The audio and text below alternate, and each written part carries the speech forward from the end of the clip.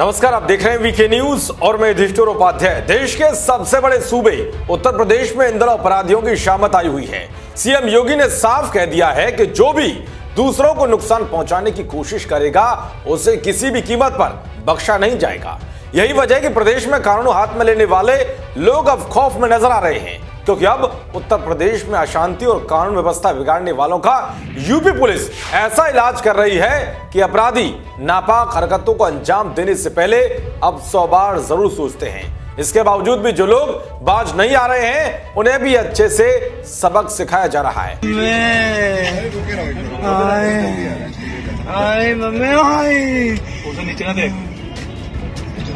दरअसल कुछ दिनों पहले मेरठ से एक वीडियो सामने आया था। जिसमें नौशाद नाम का युवक किसी शादी समारोह में थूक लगाकर रोटी बना रहा है। जिसके बाद उस पुलिस ने गिरफ़्तार करके जेल भेज दिया।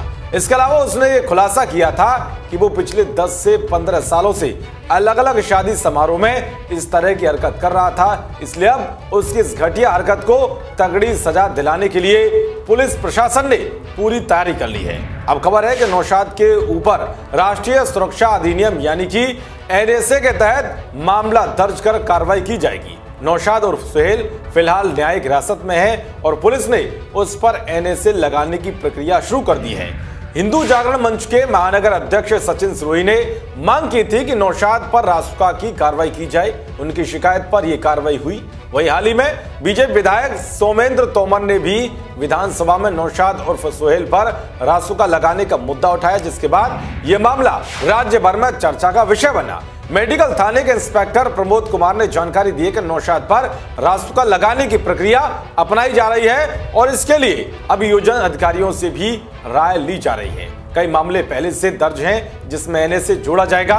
नौशाद और सोहेल ने पुलिस को दिए गए बयान में आरोपों को गलत बताते हुए दावा किया कि गंदगी ना गिरे इसीलिए तंदूर में रोटी डालते वक्त उसे बार बार चुकना पड़ रहा था। वही थाने के एक वायरल वीडियो में वो कहता दिख रहा है कि वो 10 से 15 सालों से रोटी बना रहा है और उतने ही समय से रोटियों पर थूक लगा रहा है। क्या नाम है नौशाद जी। कब से रोटी बना रहे हो? जी रोटी बनाते रहते गए काफ़ी टाइम हो गया था।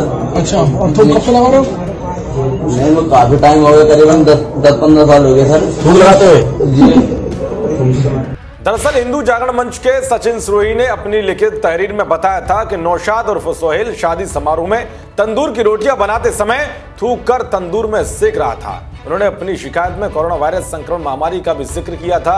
हिरासत में लेकर जब पुलिस ने उससे पूछताछ की तो उसने कबूल किया था कि इस वीडियो में दिख रहा शख्स वही है और उसने ही इस तरह की हरकत की है। इसलिए अब उसे पुलिस ऐसी सजा दिलाने जा रही है, जो आगे से कोई भी ऐसी घटिया हरकत को अंजाम देने की कोशिश भी ना कर सके। देश और दुनिया की तमाम खबरों को पाने के लिए देखते रहिए वीके न्यूज़। नमस्कार।